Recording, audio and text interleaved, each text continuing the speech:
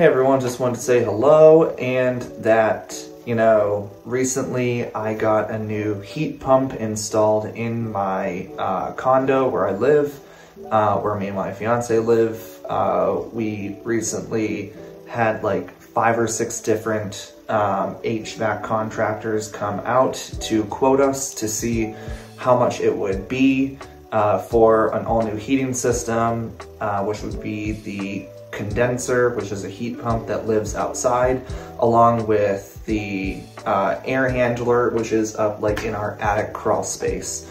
So our original system, which I'll share photos of, um, was from 1984. Um, so we have like a split level HVAC system. Um, so the second floor um, has its own heat pump and air handler, um, both of which only heat the second floor. Um, air handlers in the attic, like I said, heat pump is outside. Um, and then the first floor has its own heat and AC system. Um, it is also a heat pump that lives outside, and then uh, an air handler in the basement. So the basement is where the air handler lives to uh, give heat and AC to the first floor. So that being said, we have two. You have to have two uh, heat pumps, to uh, air handlers. So uh, the first floor actually has a heat pump from like 2011, 2012. It's a carrier, it's a nice big unit. Um, and then now we have this new Lennox that heats the upstairs. It's a Lennox air handler and heat pump that heats the upstairs. We just had it replaced uh, in December 2023.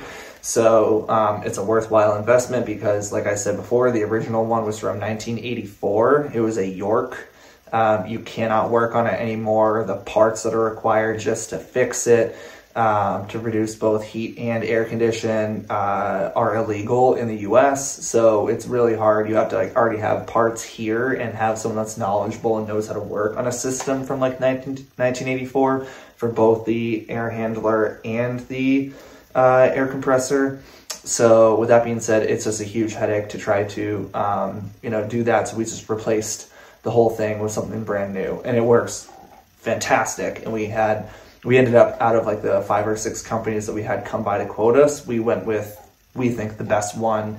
Not only in terms was it by far the best in terms of pricing, but also it was just the best um, and very highly rated company too. I think that we could have gone for. We both think that. So with that being said, I'm just gonna share some photos with you and kind of go over what exactly um, each one is and what we had before, and I'll get into cost a little bit too.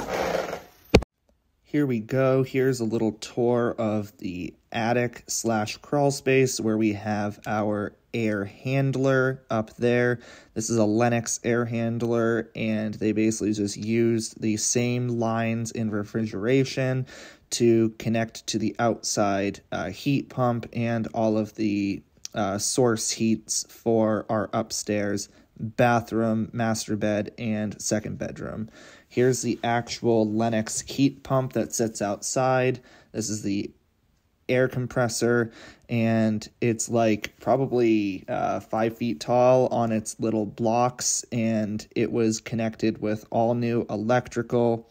Uh, it's really, really cool. It's a 1.5 ton uh, system, and it just works incredibly well. It is super quiet compared to even our carrier from 2011. And last but not least, here's the system in bits and pieces that we had originally from 1984 that was up in our attic and our heat pump.